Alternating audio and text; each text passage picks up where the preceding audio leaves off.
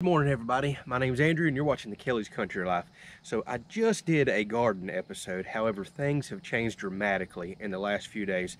I've got a few updates and I'm going to do quite a bit of picking of different vegetables and peppers because it is put on that fast. So I thought I'd bring y'all along. Check all this out. So my peppers have been putting on like crazy and y'all should notice they look very dark and green compared to the last episode. I'll tell you about that in just a second.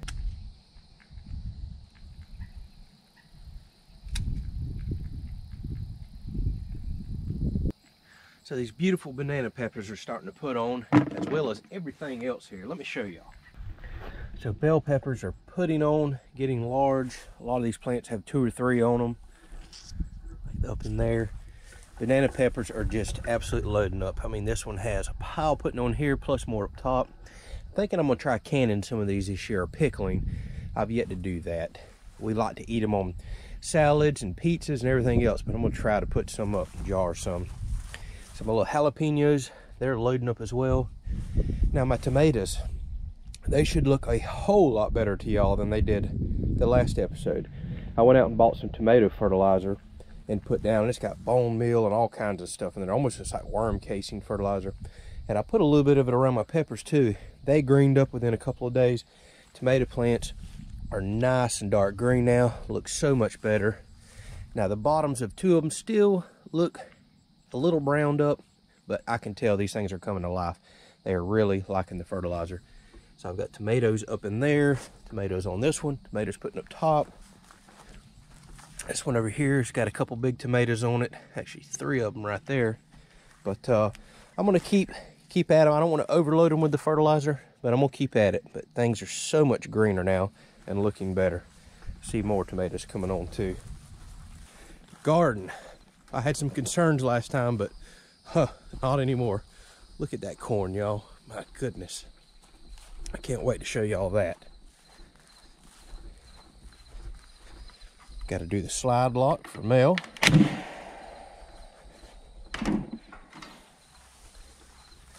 Okra. Man, there's so much to talk about. All right. So, do things look a little different than the episode I just posted a few days ago? Yes. All the corn is starting to top out. It's done put on several more inches of growth. Nice and green. And the awesome thing, I was concerned about lack of corn production. I didn't actually see any ears. Man, has it changed. It's changed a lot. So literally within just a few days, corn started popping out. It's already starting to tossle out. And I'm noticing a lot of my stalks are putting on two ears now. See how that one's got two? Everywhere you can see that all these are swollen, that's ears of corn. It is coming on like crazy now. See more corn in here. I see one ear there. Almost just got one for now, but they're still loading up. I mean, yeah, we're getting there. We're absolutely getting there. I don't know if y'all can see that in the sun when I tap on this. Look at all the Look at all the pollen coming off the tops. And I found out by Hoss Tools last year that apparently the pollen comes off the top. I think that's the male part of a corn plant. This is the female end, and every piece of silk represents a kernel of corn. So the wind naturally pollinates from the top all the way down to the bottom and has to get that pollen on each piece of silk so you get a filled out piece of corn. Go over in here more corn as well. So everything's topping out, looking beautiful. Corn is putting on everywhere. Stalks are loading up. We had horrible, and I mean horrible winds yesterday. This corn didn't budge. The cattle panels are working so, so unbelievably well. Now, why is everything looking good? I went to the store and bought, you see the fertilizer down there? Just cheap old triple fertilizer. If there's one thing I have found out in life, triple 10 is the way to go if you don't know exactly what nutrients you're missing in the garden. It's kind of a jack of all trades, master of none fertilizer. I put it out, everything started looking great. Now the big success story is over here on the okra. So I don't know if y'all remember last episode, all my okra had these yellow spots everywhere on the leaves. Even lost a couple of them, just looked really bad. I threw some of that triple 10 fertilizer down. Apparently they were really needing some nitrogen. That was my gut feeling anyways. Look at how green they have became in just the last few days of me watering that fertilizer in. That was absolutely what they needed, was just a quick shot of fertilizer. My compost doesn't have all the manure and everything in it this year that I had last year. I need to get animals and I really need to hit my compost with some nitrogen content. So I think they were just suffering really bad from that. Almost every single yellow spot is gone now just because of that quick shot of fertilizer. Ammonium nitrate's probably what I should have hit everything with, but again, because I wasn't sure of the nutrient I was lacking, Triple Ten has saved me time and time again ever since I was a kid, I can remember we've always just kind of thrown that out and side dressed with it. And uh, it gives you what you need. So the okra is looking beautiful. So look at how lush and green it is now. Yes, I'll admit my okra is planted way too thick, but that's okay. We're experimenting this year. I want to see what I can get away with. If it keeps staying this healthy, it should grow and produce. And speaking of, if y'all can see right there, we're starting to get our first okra pods. I've got them everywhere in here, so okra is coming. That one's got on pretty much any plant this size. It's already got a small okra pod on it. So we're gonna wait for those to fill out. Now one thing I have got to pick today, beans. They are putting on quicker than I had ever imagined. Absolutely loading up. So they're filling out nice and beautiful like I told you on the last episode, this is the first year we've ever grown blue lake bush beans. We typically do Romas, but I couldn't find the seeds this year. These taste awesome. I do want to say I think I like the taste of the Romas a little better, but these, without a doubt, will be my number two choice anytime I can't find Roma seeds.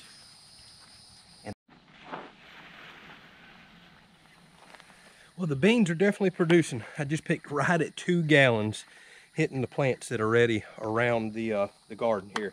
Now here's the cool thing. The majority of my plants still are not ready. They got small beans because the frost took a lot of them out and I had to replant. So two gallons come off of just a handful of plants that made it through the frost. So I'm gonna be picking a lot of beans here before long. I don't have room in the bucket now for squash and zucchini. I'm gonna go bag this up. I'll be right back. Now on to the squash and zucchini. I don't expect many here because I picked quite a bit last night. Actually, I picked twice yesterday, yesterday morning and afternoon.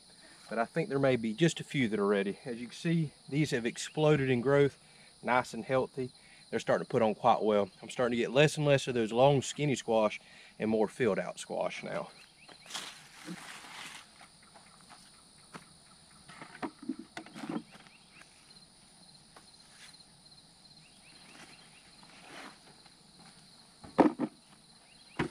So zucchini is definitely starting to produce. Keep in mind I only had three plants that made it through the frost. Everything else is still small and coming along. And my squash is starting to fill out to what I consider a normal size. So it's looking like it's time to transition from the two gallon bucket to the five gallon bucket because I'll be picking that much every day. So one last quick look at all the squash and zucchini. Things looking relatively healthy. Bees everywhere doing the pollinating for me. Now if we move over to the potatoes, they are starting to show signs everywhere that we will be picking here before long. The plants are finally starting to die that back. The uh, leaves are browning up and really getting yellow. So actually I could uh, I could start digging some right now. Actually look right there. That big old potato peeking out of the ground. How about that? Let me get that covered back up. So I'm glad I put the extra soil in here if I'm already seeing exposed potatoes. So there must be a ton of them down in there. At least I certainly hope so. Oh yeah, I'm touching them. Look right here. Ooh, look at there. There's one. There's another one. Beautiful red new potatoes. Cover those up. So we're going to start digging those up here before long. I like to let these die back a little more but we may go ahead and dig some for an upcoming meal. So if you come over here and look at the uh, cucumbers, whoo, they have exploded.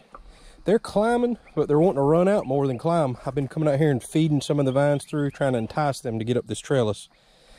it pretty much just swamped my cantaloupe over here. Probably going to sun it out and kill it. But these other two cantaloupes are doing really well. Some random bean plants there. Haven't checked on my cucumbers in a couple of days. Let's see, had some growing on the back side that was easy to show off.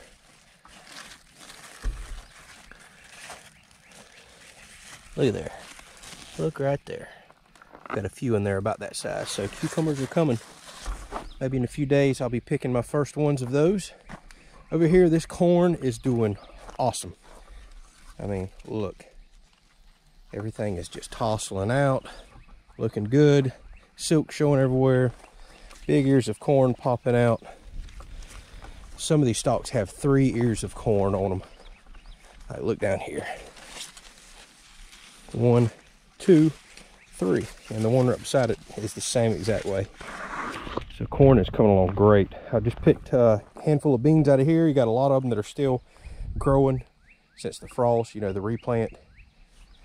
Cantaloupes over here. I've yet to see my first cantaloupe, but they're looking happy, vining, and they're about to start falling outside of the bed, which is okay. We've got all the grass and weeds taken care of, so they can fall on the ground and stay there for the rest of the summer.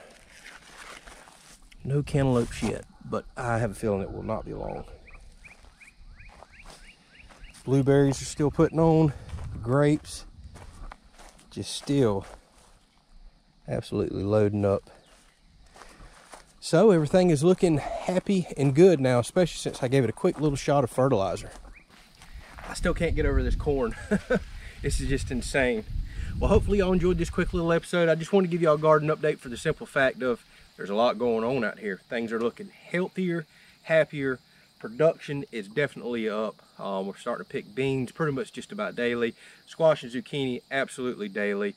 Potatoes are pretty much ready. We're gonna let them die off a little more, but we can start eating those anytime we want. The corn is loading up. I'm starting to see little corn cobs popping up everywhere. So I feel so much better about that. But the garden's doing extremely well. And we're loaded down peppers and quite a few tomatoes coming along too. I guess y'all could say hello to my little friend here. so everything is alive in the garden here.